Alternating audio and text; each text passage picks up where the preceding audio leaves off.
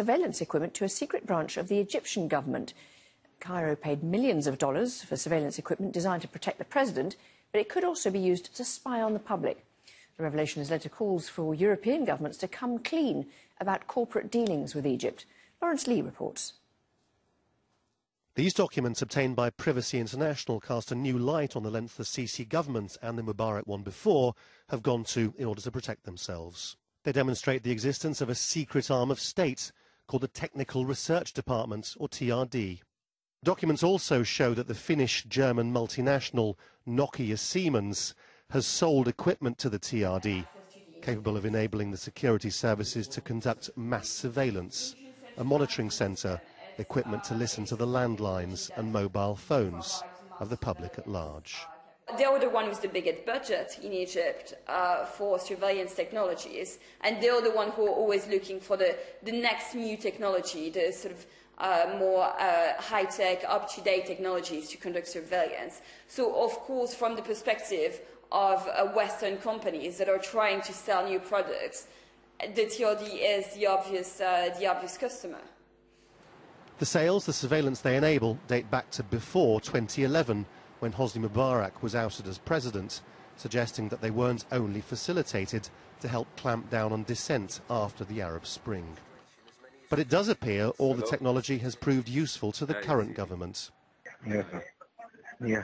This audio clip lifted from a mobile phone call is between the son of the jailed former president Mohamed Morsi and close friend Gahad Haddad, in which they discuss what to do after hundreds of protesters were killed by Egypt's security services in 2013.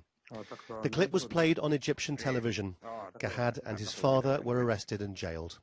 Gahad's brother is convinced the surveillance technology helped the state to portray them and thousands of others as traitors.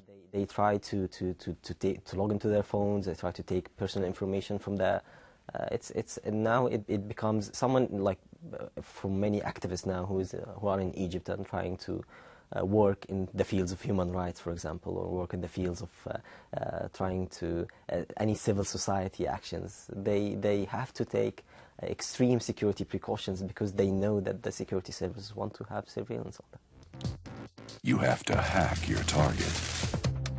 This revelation comes after an Italian surveillance company called Hacking Team was itself hacked and thousands of documents put in the public domain. Hacking Team had been selling the Egyptian government malware to allow security teams to control people's electronic devices. No European companies can export this sort of surveillance equipment to Egypt without the permission of their governments. A group of European politicians will now call on Germany and Italy to explain why they think these sales to Egypt were appropriate. We have a responsibility for our own companies here in Europe, and those companies themselves accept that they're responsible for the United Nations guiding principles on business and human rights. And I have to say, in this instance, it's very clear to me that those guidelines are being breached and these exports are wrong. Hacking Team pointed out that the sales are legal and that Western governments also sell warplanes and missiles to Egypt. It also claimed the surveillance equipment could help the West's fight against terrorism. Siemens said it had sold a subsidiary in 2013 and therefore couldn't comment. Lawrence Lee, Al Jazeera. South Africans are braced for tax rises as the government